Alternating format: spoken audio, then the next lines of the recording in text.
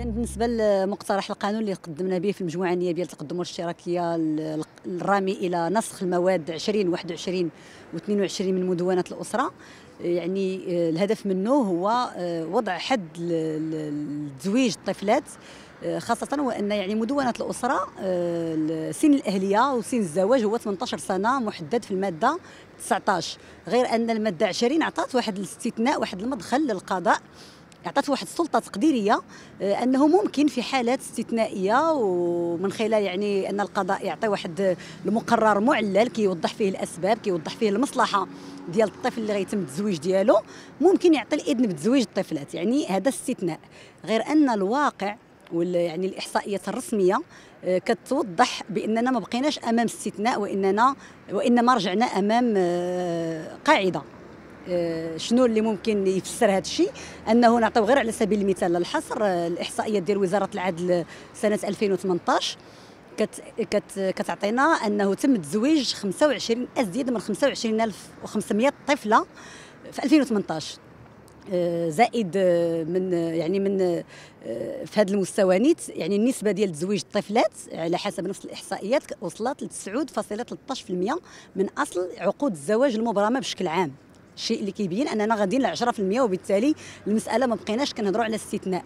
اضف إلى ذلك أن يعني الاستجابة ديال القضاء لهذا النوع ديال من الزيجات استجابة كبيرة. يعني حتى القضاء ما مستحضرش بأنه أمام مقتضيات قانونية استثنائية المفروض أنه يتعامل معها بهذا المبدأ ديال الاستثناء. اللي اللي كيبين أنه من منذ 2011 ل 2018 استجاب القضاء لتزويج الطفلات بنسبة 85% لو كنا كنتكلموا مثلا على الاستجابة ديال القضاء بواحد النسبة ديال 5% 10% 7 8% نقدروا نقولوا بأننا أمام استثناء. كيجيو واحد 100% ديال الطلبات كيستجب فيها 5 6 7 10 كاع في المية. لما كنتكلموا على الاستجابة اللي وصلت ل 85% فاحنا كنتكلموا يعني ما بقى والو ل 100% يعني بحال ولينا أمام قاعدة ما بقيناش كنتكلموا على استثناء. وبالنظر كذلك يعني الاثار الوخيمة جدا ديال هذه الظاهرة على الطفلات على الأسرة وعلى المجتمع. فيعني كاين آثار نفسية كاين آثار صحية. آثار صحية مثلا يعني وزارة الصحة كتقول بأن الحمل قبل من 18 سنة يعني كي كي, كي يعتبر كيشكل خطر على يعني هاد هاد الطفلة اللي اللي غادي تحمل وغادي تولد قبل من 18 سنة. يعني هذا هادو من من المخاطر الصحية. كاين آه، آثار يعني آه، سلبية على المستوى السوسيو اقتصادي على المستوى السوسيو اقتصادي يعني هاد هاد هاد الزواج ديال القاصرات كينتج لنا واحد الفتاة واحد المرأة يعني في وضعية آه، هشة سوسيو اقتصاديه هشة خاصة وأن يعني الفئة العريضة اللي كتزوج هي اللي كيتراوح عمرها. ما بين 15 و 17 سنه 99% ديال الطفلات اللي كيتم تزويجهم السن ديالهم كيتراوح ما بين 15 و 17 سنة.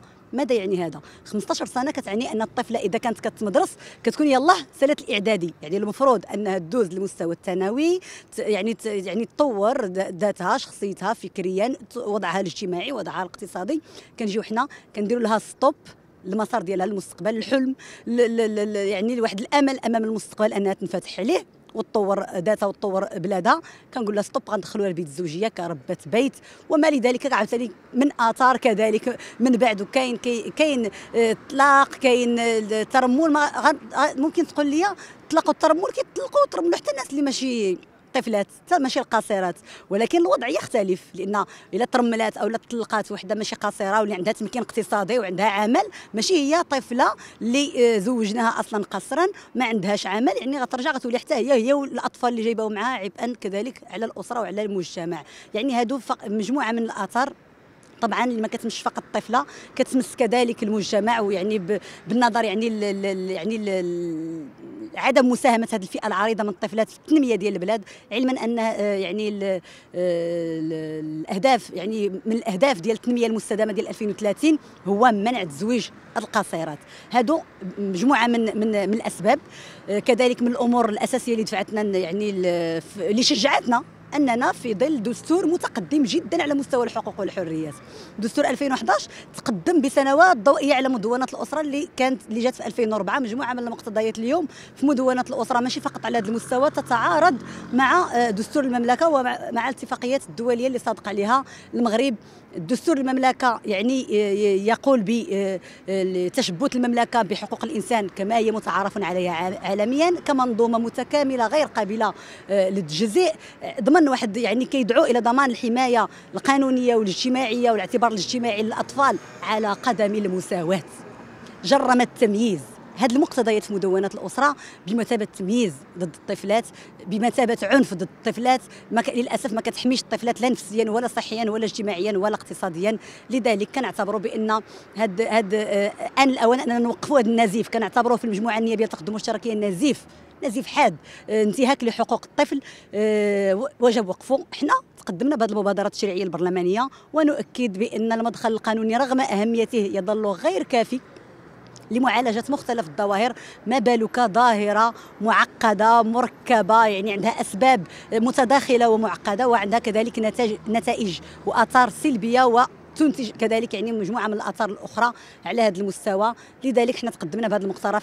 المقترح كنتمنى أكيد غادي نربطوا الاتصال مع مجموعة من الفرق اللي كتقاسمنا نفس الهم الحقوقي الدفاع على حقوق الطفل. أكيد غادي يتم التنسيق معها من أجل يعني دعم المقترح ديالنا. كنتمناو أن الحكومة تقوم ب يعني ب اولا من جهة التفاعل الإيجابي مع المقترح بالنظر إنه ضرورة ملحة لأنه مطلب مجتمعي ودولي يعني حتى واحد العدد ديال الآليات اللي كتوجه المغرب من أجل وضع حد لتزويج الطفلات.